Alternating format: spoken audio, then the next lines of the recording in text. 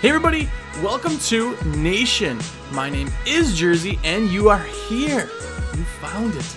It's Nation, Window Cleaning Resources, best podcast done by me on the internet. Um, thanks for ch- checking us out. If you're new to the show, welcome first and foremost. I'm Jersey. Have a look around. Hopefully, it doesn't suck too much. And you go back and watch some previous episodes. We are on episode number 50, meaning we are two away from one year of episodes. So, pretty cool. I'm glad you guys are here with me for that. If you are part of the nation, you are one of the cool kids, one of the people who watches every week, thumbs up, likes, subscribes, and does all the cliche stuff. What is going on? Thank you, thank you, thank you. It's because of you I get to do the show, so I definitely appreciate it. And if you are one of the elites, one of my favorite people, you are somebody who watches every episode, likes, thumbs up, comments, listens to every episode, whatever, however you watch or listen. And most importantly, you buy your supplies through me, Window Cleaning Resource, and I'm your rep, and you call me up and you text me and you do whatever and say, hey, put this order in for me. It is because of you that I get to enjoy not being homeless. So thank you for that. I thank you, thank you, thank you. If you want to be one of the elite, um, somebody who orders through me, my number is 862 312 2026. And really, that is my cell phone. You can even text it, you can call me, you can ask questions, you can put orders in, you can say, hey, I just put everything in my cart and I want you to put it in for me. I love those ones. They're super awesome. I love you guys. Thank you, thank you, thank you so much for that. I just can't say thank you enough. And uh, very, very genuine when I say that. This is available on iTunes, Google Play, SoundCloud, TuneIn. Uh, it's also available on YouTube. However, you want to watch or listen, please do it and make sure that you love it. Either way. Um, before I get into who won this week, I have a announcement, if you will. But we are going to give away two tickets to the huge convention right now. Here's how you win. All you do is you share this show. You share it on YouTube, share it on any of the forums.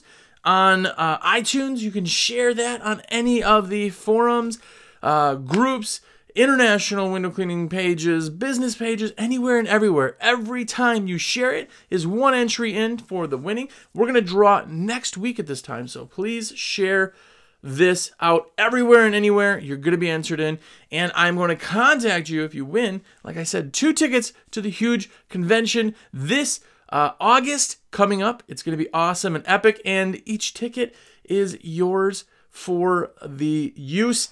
Please come. Make sure that you're going to make it. Uh, I'd love to see you there. I'll give you a free high five. But anyway, so share out the content. But the winner from last week, who is winning a $50 credit and a swag bag from Window Cleaning Resource, is Dan Diekman. What's up, man?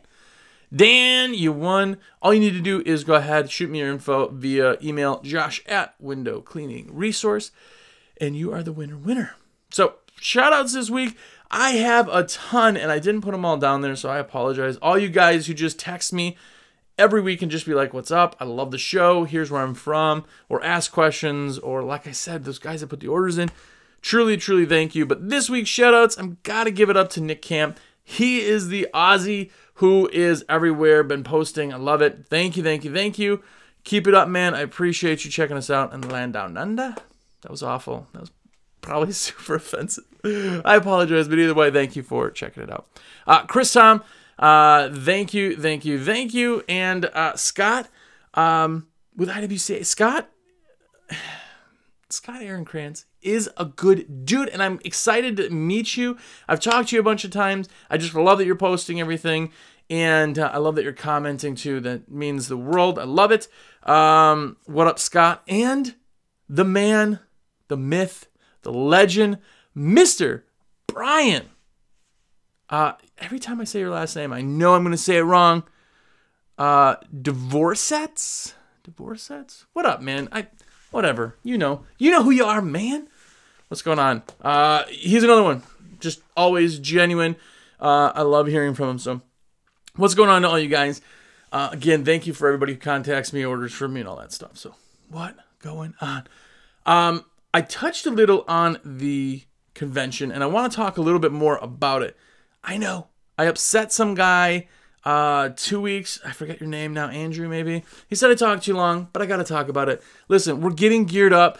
We talk about it every single day on our end because of everything that's going on and the tickets and the uh, booth space and the, the area layouts and everything. So it is in my brain, and I'm super, super excited. It is the huge convention. It is coming up in August, which seems so far away, but it is going to be June next week from when I'm recording this. So it's coming up. If you haven't been to a convention or you're listening to this late, get on it. They are literally amazing. Go to any of them, go to all of them. The best one, in my opinion, is the huge convention.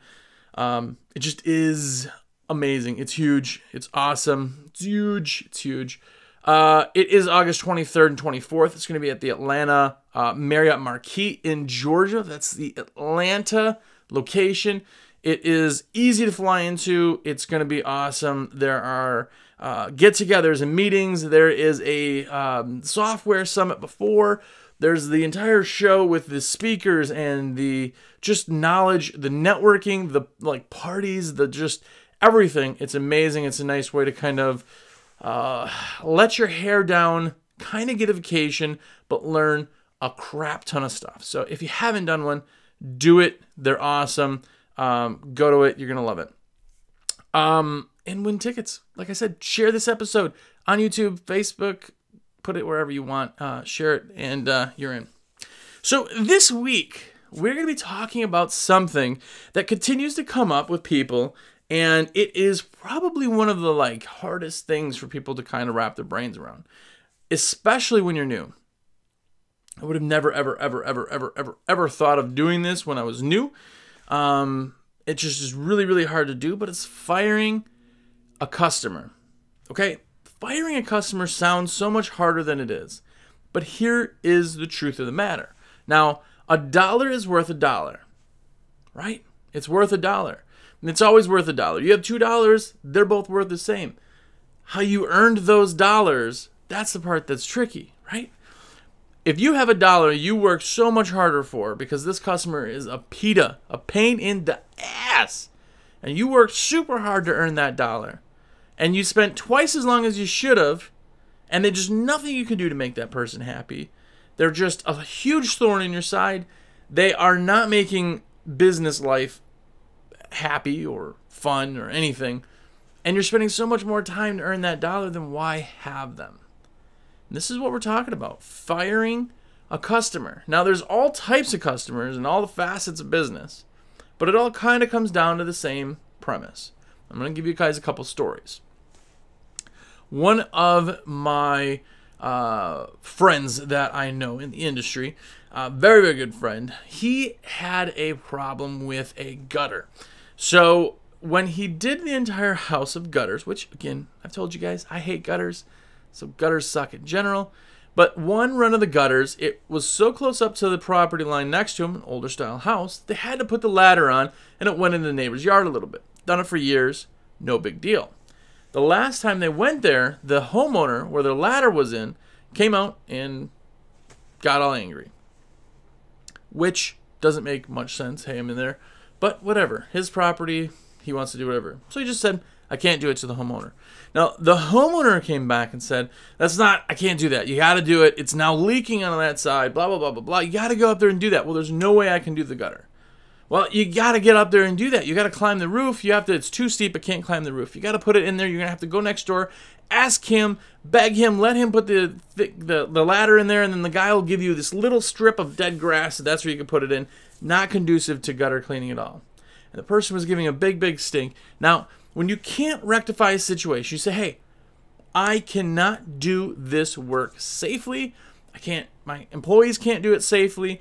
I can't do it efficiently. I can't charge you what I'm supposed to charge you. It's going to take me three times as long to do that. I just can't do that. And they keep, keep, keep insisting. They are going to be continually persistent. And when you do the rest of the job, you can do the rest of the job completely perfect. They still may be angry at that part.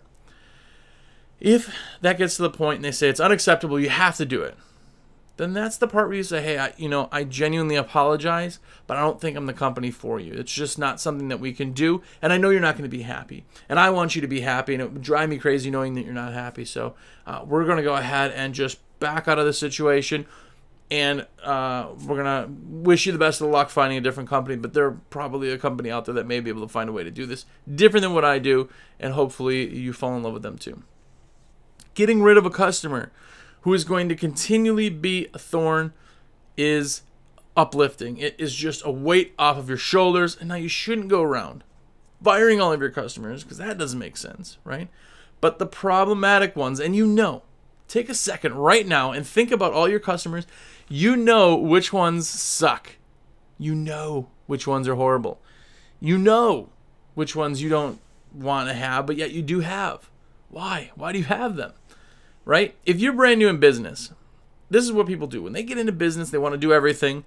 I pick up dog poop, I clean showers, I I do all this stuff because they gotta they just need income. You know, as that you know boulder is being pushed, it becomes easier and easier, and you have more liberties to let the customers go. And this is what we're really talking about is just getting to that point. Now, if you have five customers a week, it's going to be dang hard for you to go ahead and leave one of those customers by the wayside, and now you're only down to four. That's going to be really, really hard. But when you are up and running, right, like you may be right now, this may be the busiest year you've ever had, which is awesome. High five for you if it is. Let me know. I'd love to hear that always.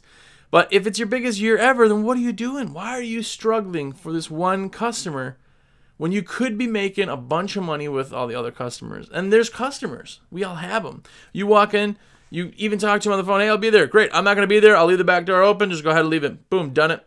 It's great. How does it look? Looks great. Checks on the table. Done. Those are the customers that I love. Those are the ones that make my job easy. They make me in and out super fast. And that dollar, that same dollar that's worth a dollar, was so much easier for me to make. What if you could surround yourself in all day, every day, with customers like that? It would be epic. It would be epic. You'd be happy. You'd love everything you do and every day. Maybe. I'd still hate gutters. I'd still hate gutters. And uh, I still would hate like prickers and stuff. But I would love my customers a lot better. Now, I had a customer, this is years ago, but this is on a route side of things. And this particular customer I knew for a very long time, and I knew when I went in, they said, "Hey, I uh, I'm a little bit picky. I know what I want. I gotta have it that way. Blah blah blah blah blah." I was new. I said, "Absolutely. We love picky customers because I know that I can make you happy." We done for years. Well, eventually, eventually, he's going, "Hey, this window." Which they had the kind of uh, large frames where they're like four inch by four inch sets. We'd wipe everything down and they were old they were stained they you know in the one corner was a lot of uh, uh, issues with the uh, silicone uh, sealant that kind of was leaking. It was always like that always. But he started to kind of be angry at the situation and i would bring it up and i would let them know and and uh, every single time we would do the job we would come back and uh, they would call us hey these windows are still bad i'd show back up I'd say you got the seal in the corner. Is that what you're talking about? It's on the frame. You know, I tried razoring some of it, you know, and it got, no, no, no, that's not it. This window was dirty. I look, I can't find anything. He goes, oh, well, I don't know what to tell you, but we saw it. We called you back. This happened probably three or four times. And every time I go back, is it the stain in the corner of the frame? No, no, no. It was in. It's in the window. I said I can't see any. I go deep, you know, just dry buff the whole thing. I go on the inside and I'd look, and he called me probably three or four times to come back for absolutely nothing. We couldn't find anything. We couldn't. We couldn't find a mark, a smear, or anything. We knew he was picky. So we were very careful right up the front. Nothing. So I eventually said to him, I said, hey, um, I apologize, uh, but I hate getting callbacks. Uh, you know, that means I'm not doing my job properly, and I feel like I'm letting you down. So what we're going to do from here we're gonna go our separate ways. Uh, again, I apologize for um, you know not being able to perform to where you are. I know you're picky, and I know you'll be able to find somebody who is you know up to a, a different par. Now, I know our quality. I was the one that went back on the callbacks probably two or three of the four or five times, and there was nothing, nothing, nothing, nothing, nothing. You're wasting my time, man. I'm sorry, but listen, when I got to send a crew back to a job on a route where I only made money because that route job was on a route and nothing. Now, if I got to go back because something happened, right? Even if there's a big a bird strike or something, like if it's the day of or the day after, it doesn't drive me that crazy because it's like, okay, let's just make them happy, right? But when it happens 5 weeks in a row and there's nothing there, not once, I understand that there's a problem. Okay, so now if I got to go and do the job, now route jobs are relatively quick. Sending a crew there twice with the time and drive, it's doubling the time of this job. I'm losing money at this point. And I know it's not going to get any better. So at that point, you have to kind of let people go. It, is what it is, and it happens. Route jobs are unfortunate because I like to build routes. The tighter a route, the more properties you have on that route, the more money you make. Everybody knows. So I always hate getting rid of route, but I also know when there are succubuses, people who just want to take your time and waste your money. You're going to earn that dollar that's worth a dollar easily, or you're going to deal with the pain in the ass side of things to get it. And it's completely up to you. Now, there's a couple ways to kind of get out of that. Now, as you can see, my my process is the, the friendly way. I apologize. I've done nothing wrong, and I know it's not me. I know it's them, but I'm going to apologize and I'm going to take it on and I'm going to take the, the blame for it. Why? Because if you take the blame for something or you put it on yourself, then they don't have the opportunity to do it. It's already been done, right? Like my crooked nose, okay? If I bring it up, then nobody else can be like, ah, I got a crooked nose. They'd be like, yeah, I already said that. You know, but it's like little kids when they get made fun of for something that people think that nobody's realized, that's when they get made fun of. But if you go out there and go, yeah, so I'm heavy set. What are you going to do? Nobody makes fun of you for being fat, right? Same thing. If you put it on you, then no, no, no. It's it's it's it's not your fault. You know, I just appreciate you handling this all the way. You know, I well, I apologize. Blah blah blah blah blah. So there it is. First and foremost, when you put it on yourself and take the blame, that's one way to ease it. You're not telling them, hey, you're a pain in the ass, or hey, I don't want to do work for you because you suck. You're wasting my money. You're wasting my time, and you're pissing me off. I don't say that, but I put it on myself.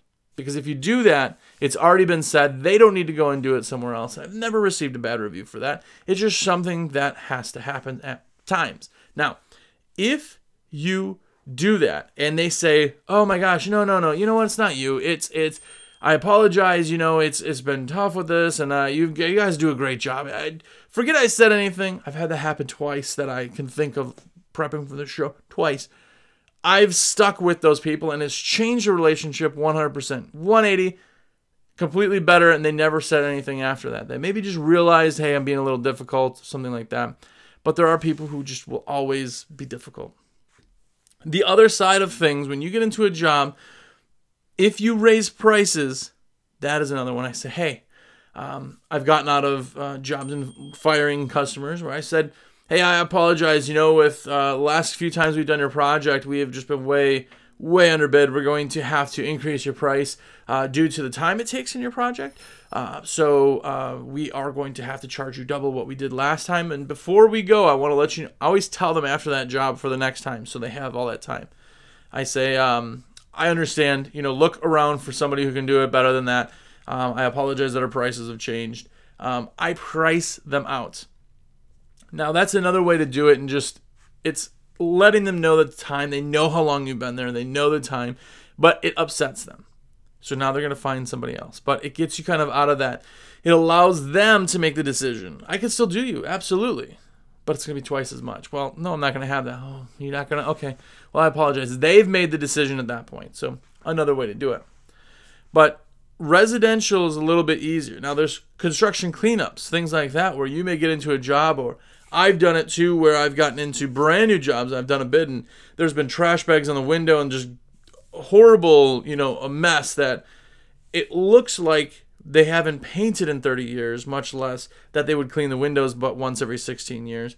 I'm going to overprice that. I'm going to price it so that I don't get it because I understand that that job's going to take me a lot, lot longer, and I understand that it's not a repeat customer. Now, I'm not going to do that on everyone. I'm not telling you to go out and do that, but I'm telling you that if you can see the inkling, the longer you do this, the more you'll find when people are becoming issues or where they will be issues, is to price yourself out of that. Now, the big thing with that is they're going to get multiple quotes. If you give them a price, that's too high, which we all have, even genuinely given them a price where they thought was too high, is they're going to find somebody else. The crappy part, the crappy part is where you try to price yourself out. You go this exorbitant price, and they go, okay. Ah, crap. Now I have to do it, you know. Um, but you don't have to take on everybody. You don't have to take every job, and you don't have to keep every job.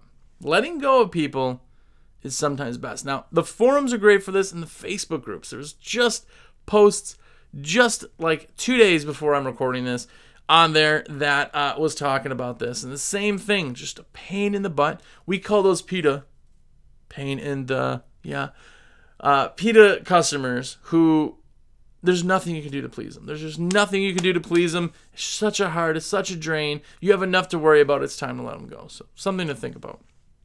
But residentially, it's harder because you're talking to somebody about their castle. You can't uh, you can't say certain things, and uh, it's a little bit more of a delicate thing. But you are there every three months, four months, six months, whatever it is. You're not there every week. Now, with commercial, this is a harder one. I personally never dropped a commercial account that I can think of. Commercial meaning less than once a month, or usually larger projects. Um, less frequent than once a month, month I should say. So the larger projects usually have commas in there, and uh, usually you're dealing with property managers, and the property managers are good. Uh, there's also, for the most part, a lot of uh, multi locations, so those are harder. I'm going to deal with that dollar or that pain in the butt a little bit stronger because I know the money is making it worth it for me. Now, I've had one uh, the guy ended up not making it very long, but he was there for maybe two years um, that we did it, and he was a pain, a pain, pain, pain in the butt. He talked to us like we were dirtbags. Uh, he was just rude, and um, he would say stuff like "deal with it," you know, like, "Oh well, there's a couple, you know, windows up there that the uh, screens weren't taken down, but whatever, you deal with it." Oh, okay. Well, we don't, you know, but it was a large project, so I took a little bit more of a a, a whooping on it verbally than I would have if it was just a smaller job. So that's completely up to you and your discretion. That guy didn't make it very long because he was horrible to everybody. They ended up letting him go. Um, but keep that in mind also. The other version or the other way that you have a customer you want to let go is because they don't pay you on time. If a customer is notoriously late, notorious, listen, I had, and I've talked about just a couple weeks ago. I plowed when in Wisconsin. I plowed in the winters because it's Wisconsin, right? Uh, it snows there every now and then. And um, I had a customer. It was a large complex of eight buildings, sidewalks, uh, uh, lots, salt, every two inches. It was huge, huge account. It was so awful getting money from them that I've eventually had to go up and up and up and up and up. And then we just, after a few years of dealing with this, our last snow check we were getting in June snow check in June. All just arguing with them for no rhyme or reason. They just were not well put together. And uh, they would complain. They'd say two inches. We'd go there and do it at two inches. They'd say that's too often. Go to, or you know too much. Do it every three inches. We'd go there every three inches. Say hey, you're not out there soon enough. There just was no making them happy. Eventually, I had to bite the bullet on that one, and it just was not worth waiting months and months and months of me calling every single day or every other day, writing letters, finding the right. I spent so much time of my own draining personal time tracking these people down that it just wasn't worth it. So I ended up having to let them go. Also, and that was a hard one. That was a hard one. Now we ended it at the end of a season, so I had to wait the whole season until I took the hit for not having the work. But man, I took a hit. That was one of those that I it was worth it. I stayed with it longer than I should have because it was the money. But not having that is huge for my sanity. And I'm telling you, sanity in business is worth so much more if you can make an easier dollar. And I always say that. Now, this is not the sales side of me. This is just something that I say. I love waterfed, right? If I could pick a job and do only outside water feeds on casement crank-out windows, that's what I would do. That would be my company. I would create a company just doing that because it's so easy. It's so fun because there's nothing in your way, right? It's like uh, commercial route work where you don't ever have to talk to anybody if you don't want. You, you just do your work, you know, there's nothing in your way. having simplicity is huge.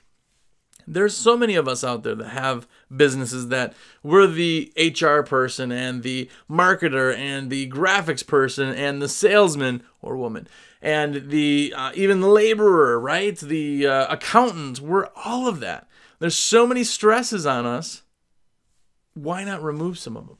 Now, when you're ready to do that, definitely, definitely think about doing that. I'm not telling you go out there and drop a bunch of people. And uh, I apologize for my phone, but uh, don't go out there and drop everybody because that doesn't make sense either. But if you have somebody that's holding you up, look at look at letting them go, right? Um, in residential, there's more of a pain in the butt because people think that it's their castle. So residential people, you're gonna get a, a lot more just keep an eye out for it. And if you have an awesome story about having to fire somebody, I would love to hear it. I'd love you to put it in the notes. If you're on YouTube right now, go ahead and put that in the notes. If you're listening uh, just on the podcast, uh, I know you're going to go out there and share this podcast, which is awesome. Um, but when you do in a Facebook group, share your story. I'd, I'd love to hear it. I, I, I really do genuinely love hearing other people's stories. I love getting people set up for business too and watching them grow with that being said, if you do want to buy any of your solutions or uh, products or tools or getting into waterfed or getting whatever, pressure washing, anything, please let me know. Let me be your sales rep. I'd love that. 862 312 2026. Genuinely my cell phone number. Go ahead and text me on that and uh, we'll go back and forth. Just text me. What's up, man? Watch the show. Love it. And I would love to give you a shout out. That would be awesome also. Now, I did this before and you guys turned out in droves. So this week, the discount code, if you put an order in through me, 5% off discount code this week is going to be Cool Kids. If you put an order in through me and you say, hey, I want to put an order in, I want to put in a Cool Kids order or something like that, shoot me a text with that and uh, you'll get 5% off. Don't share that. Don't tell people. You're the one listening to the show to the end you're the one getting the discount. So definitely let me do that. Big or little, I love to put the orders and let me know. Anyway, enough of the sales spiel. Please make it to the huge convention. That is awesome. I'm going to be there. The creators are going to be there. Uh, we're going to be there just hanging out and uh, showing products, demoing, doing classes. It's my favorite time of year, so try to make it. Again, go to thehugeconvention.com, check it out, and I hope you're there, and I hope you share this, and I hope you win tickets so you get free tickets to go. And then all you gotta do is show up. Atlanta's easy to get to, right? But go do that. And until next week, go out there and be epic and uh, make a billion dollars.